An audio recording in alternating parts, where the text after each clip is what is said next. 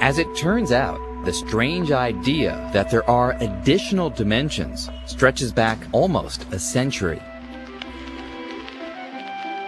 Our sense that we live in a universe of three spatial dimensions really seems beyond question. But in 1919, Theodor Kaluza, a virtually unknown German mathematician, had the courage to challenge the obvious. He suggested that maybe, just maybe, our universe has one more dimension that for some reason we just can't see. Look, he says here, I like your idea. So why does he delay? You see, Kaluza had sent his idea about an additional spatial dimension to Albert Einstein. And although Einstein was initially enthusiastic, he then seemed to waver and for two years held up publication of Kaluza's paper. Eventually, Kaluza's paper was published after Einstein decided extra dimensions were his cup of tea. Here's the idea. In 1916, Einstein showed that gravity is nothing but warps and ripples in the four familiar dimensions of space and time. Just three years later, Kaluza proposed that electromagnetism might also be ripples. But for that to be true, Kaluza needed a place for those ripples to occur. So Kaluza proposed an additional hidden dimension of space.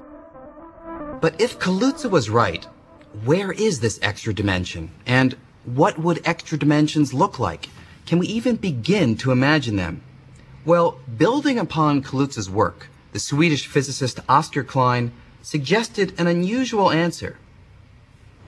Take a look at the cables supporting that traffic light. From this far away, I can't see that they have any thickness. Each one looks like a line, something with only a single dimension. But suppose we could explore one of these cables way up close, like from the point of view of an ant. Now, a second dimension, which wraps around the cable, becomes visible. From its point of view, the ant can move forwards and backwards, and it can also move clockwise and counterclockwise. So, dimensions can come in two varieties. They can be long and unfurled, like the length of the cable, but they can also be tiny and curled up, like the circular direction that wraps around it. Kaluza and Klein made the wild suggestion that the fabric of our universe might be kind of like the surface of the cable, having both big extended dimensions, the three that we know about, but also tiny curled up dimensions curled up so tiny, billions of times smaller than even a single atom, that we just can't see them. And so our perception that we live in a universe with three spatial dimensions may not be correct after all. We really may live in a universe with more dimensions than meet the eye. So, what would these extra dimensions look like? Kaluza and Klein proposed that if we could shrink down billions of times, we'd find one extra, tiny, curled up dimension located at every point in space. And just the way an ant can explore the circular dimension that wraps around a traffic light cable, in theory, an ant that is billions of times smaller could also explore this tiny, curled up circular dimension. This idea that extra dimensions exist all around us lies at the heart of string theory. In fact, the mathematics of string theory demand not one, but six extra dimensions, twisted and curled into complex little shapes that might look something like this. If string theory is right, we would have to admit that there are really more dimensions out there. And I find that completely mind blowing. If I take the theories we have at Yale literally, I would conclude that the extra dimensions really exist. They're part of nature. When we talk about extra dimensions, we literally mean extra dimensions of space that are the same as the dimensions of space that we see around us and the only difference between them has to do with their shape. But how could these tiny extra dimensions, curled up into such peculiar shapes, have any effect on our everyday world? Well, according to string theory, shape is everything.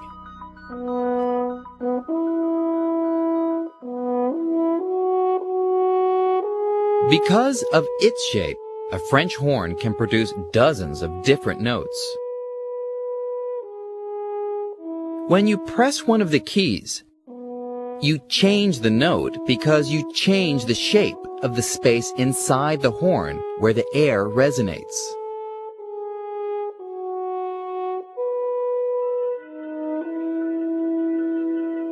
And we think the curled up spatial dimensions in string theory work in a similar way. If we could shrink down small enough to fly into one of these tiny, six-dimensional shapes predicted by string theory, we would see how the extra dimensions are twisted and curled back on each other, influencing how strings, the fundamental ingredients of our universe, move and vibrate and this could be the key to solving one of nature's most profound mysteries.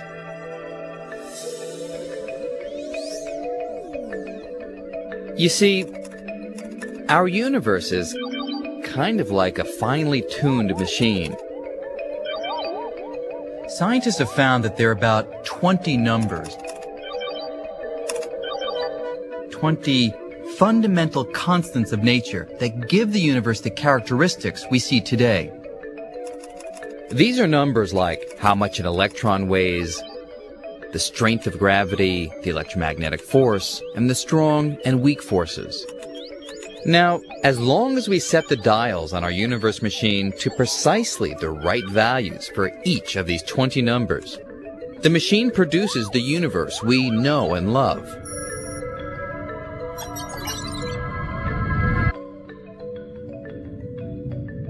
But if we change the numbers by adjusting the settings on this machine even a little bit, the consequences are dramatic.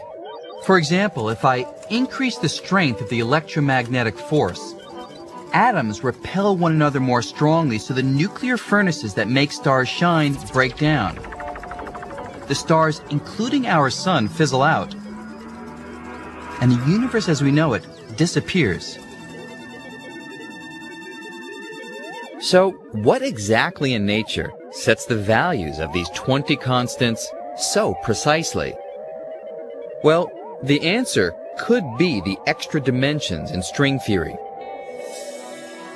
That is, the tiny, curled up six-dimensional shapes predicted by the theory cause one string to vibrate in precisely the right way to produce what we see as a photon and another string to vibrate in a different way, producing an electron. So, according to string theory, these minuscule, extra-dimensional shapes really may determine all the constants of nature, keeping the cosmic symphony of strings in tune.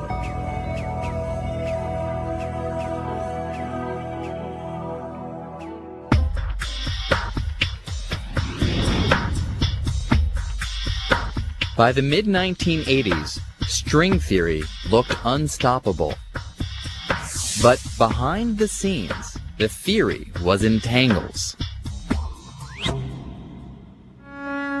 Over the years, string theorists had been so successful that they had constructed not one, but five different versions of the theory. Each was built on strings and extra dimensions, but in detail, the five theories were not in harmony. In some versions, strings were open-ended strands. In others, they were closed loops. At first glance, a couple of versions even required 26 dimensions. All five versions appeared equally valid. But which one was describing our universe?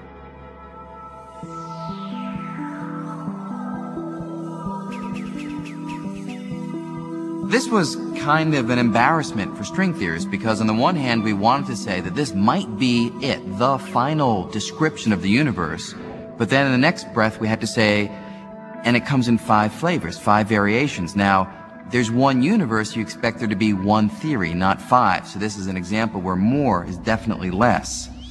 One attitude that people who didn't like string theory could take was, well, you have five theories, so it's not unique. This was a peculiar state of affairs because we were looking just to describe one theory of nature and not five. If there's five of them, well, maybe there's smart enough people would find 20 of them, or maybe there's an infinite number of them, and you're back to just searching around at random for, for theories of the world. Maybe one of these five string theories is describing our universe. On the other hand, which one and why, what are the other ones good for? But having five string theories, even though it's big progress, raises the obvious question, if one of those theories describes our universe, then who lives in the other four worlds?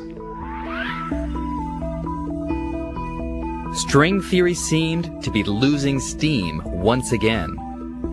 And frustrated by a lack of progress, many physicists abandoned the field. Will string theory prove to be a theory of everything? Or will it unravel into a theory of nothing?